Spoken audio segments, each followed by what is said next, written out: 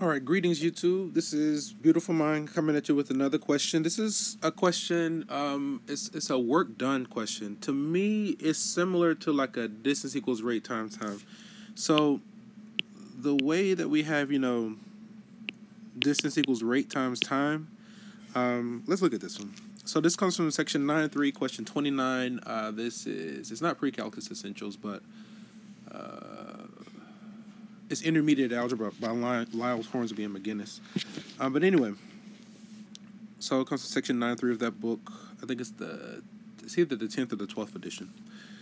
But it says two pipes are connected to the same tank. When working together, when working together, they can fill the tank in two hours. The larger pipe working alone can fill the tank in three hours less time than the smaller tank. How long would it take how long would the smaller one take uh, working alone to fill the tank? Uh, just a quick sketch of what's going on. So we have a tank, you know.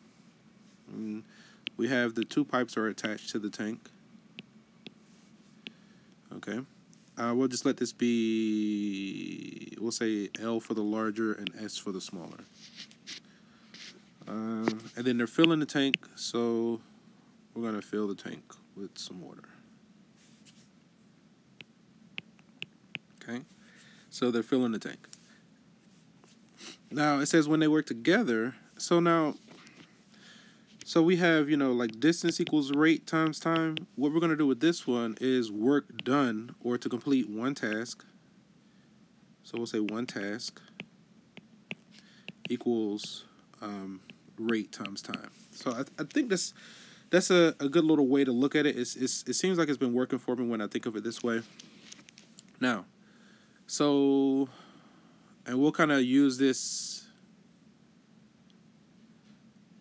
We'll kind of use this kind of notion. I think this is okay. So let's keep going. So it says when they work together, so they can fill the tank in two hours. So the time when they work together is two hours, right? But then it says the larger part, the larger pipe uh, working alone can fill the tank in three hours less than the smaller one. So the time of the larger tank is going to be the time of the smaller tank minus three hours. Okay. So then, how long would it take the smaller one uh, to fill the tank? Okay. So to set it up, what we do, we'll say, say this is the smaller pipe, right?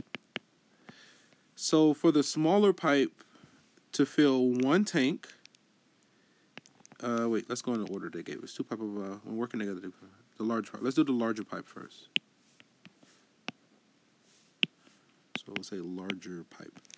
So in order for the larger pipe to complete one one tank or to do one task alone, I would say larger pipe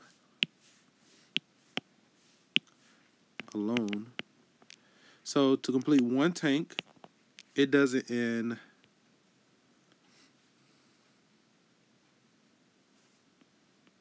So the larger tank uh, is the smaller tank minus three hours. So the smaller, the time of the smaller tank minus three hours. And then we'll say plus. Now if we consider the smaller pipe alone, for it to do one task, it takes it whatever its time is. So the time of the smaller tank. Now that's going to be equal to if they work together. If them working together to complete one task is going to take them two hours. You see how we did that? So the top is like the work done or to complete one task, and the bottom is the time it takes them to do that task. Uh, let's let's log that. Okay, so we're going to shrink this down, or actually Instead of moving that, let's move this stuff here. Just gonna move it over here. And then this, just put it here. Okay, so this is like um, work completed. And we'll say one task is the top part. And then the time is the bottom. So you see in the blue, we said work equals rate times time. So then we have the rate of the larger pipe plus the rate of the smaller pipe equals their, their rate together. And so if, if work equals rate times time, then the rate is going to be the work divided by time. So the top is the work completed, and we're just considering one task. The bottom is the time for, for that operation. So again, let's recap how we set this up. So then here, so now, if we consider the larger pipe, in order for the larger pipe to, to do one task, to fill one tank, it takes it the small the time of the smaller it takes it whatever its time is, which we got from here. We got from the thing. The smaller pipe to, to do one task takes whatever its time is. We said the larger one is going to be three hours less than the smaller one. The smaller one we don't know, so we just gave it a variable. Now, if they're working together to complete one task, it takes them two hours. Okay, that's that's how we set this up. So then, I think from this point, um, we just solve, and first we want to identify our LCD. So everything is factored. What we're going to do for right now is just multiply all the denominators. That's the simple explanation. Now, you might want to do a quick YouTube search on how to find the LCD. So I'll say search YouTube on how to find the LCD. Okay, because uh, there are other techniques. Uh, for this one, the simple thing is just going to be to multiply the denominators. Um, but there are more uh, sophisticated techniques. So then if I do this, I'm going to say 2 times the time of the smaller tank times the time of the smaller tank minus 3. Okay? And I'm going to multiply the left and the right by the LCD and distribute. So then I get this one. I get this one. So you, you multiply the left side of the equal sign by this, you'll you'll end up distributing. You'll get this, and the right you'll get this. So then this cancels this, right? Uh, the time of the smaller tank is going to cancel that one, and this two is going to cancel that. So then, the first one we have the time of the smaller tank. Oh, and two, okay, plus we still have the two and the time of the smaller tank minus three and then on the right, we have the time of the smaller tank times this minus 3. Okay. So then we simplify. I'm going to move everything to the right and then reverse the order. Um, so if I distribute on the right, I distribute here, right? I get the time of the smaller tank squared minus 3 times the time of the smaller tank.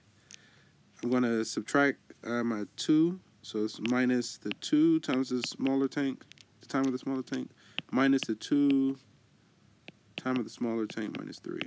And then set this equal to 0. So I moved everything to the right, and then I reversed the order. Okay, so now if I simplify, the time of the smaller tank squared, uh, let's see, minus 3t minus 2t minus 2t plus 6 equal to 0. The time of the smaller tank squared that's a negative 7 time of the smaller tank plus 6 equals 0. So then it looks like we can go, we can factor this immediately, go straight here, the time of the smaller tank. Okay, so this plus tells me that the two signs are the same. This one tells me that, that the larger one is negative. So if they're the same and the larger one is negative, then they both have to be negative. Two numbers that multiply to give me 6 and add to 7 are negative 6 and negative 1. Notice that negative 1 times negative 6 is positive 6. Negative 1 plus negative 6 is negative 7. So then the time of the smaller tank is either 1 hour or is 6 hours. Okay, now let's go back to the context. Now when they work together, they can complete, they can fill this tank in 2 hours. So one of these answers doesn't make sense in the context of the question. Algebraically, it's correct, but in the context, it doesn't really make sense. So this the time being one hour doesn't make sense in the context of the question. So then we would say the time of the smaller tank should be six hours. Okay. And then you can you know you can plug this into the original provider. We set the original up properly. Um, one third plus one sixth is a half. Okay, so that checks out. So yeah, I know that one was a little funky. The hardest part with this one is is setting up setting it up. Okay. But that's how we would do it. And so we'll end the session there. And uh, from one beautiful mind to another, enjoy the rest of your day.